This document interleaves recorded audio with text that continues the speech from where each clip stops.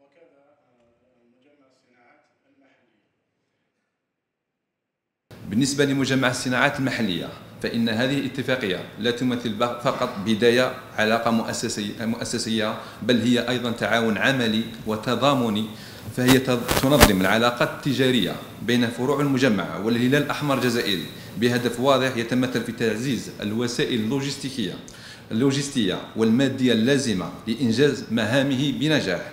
فمن خلال توحيد جهودنا سنمكن فروعنا من توفير منتجاتها وخدماتها للهلال الأحمر مما يضمن تزويده السريع والفعال بالمواد الأساسية لعملياته. سيتم تعبئة وحداتنا 147 المنتشرة في جميع أنحاء البلاد لضمان أن يترجم هذا التعاون إلى أعمال ملموسة. وضع هذه الشراكة المهمة في إطار في إطار تنظيمي نوعا ما هو يعزز قوة هذه الشراكة من جهة أخرى ويفتح لها آفاق جديدة من بينها ومن أهمها توسيع نشاط الهلال الأحمر الجزائري عبر التراب الوطني بما أن فروع آه، مجمع الصناعات المحلية متواجدة على مستوى التراب الوطني. مما يمكننا من آه، يمكن الهلال الأحمر الجزائري من اقتناء السلع المهمة في مهامه الإنسانية في وقت قصير جدا. في إطار هذه الشراكة كذلك اتفقنا على أن نضع مجمع الصناعات المحلية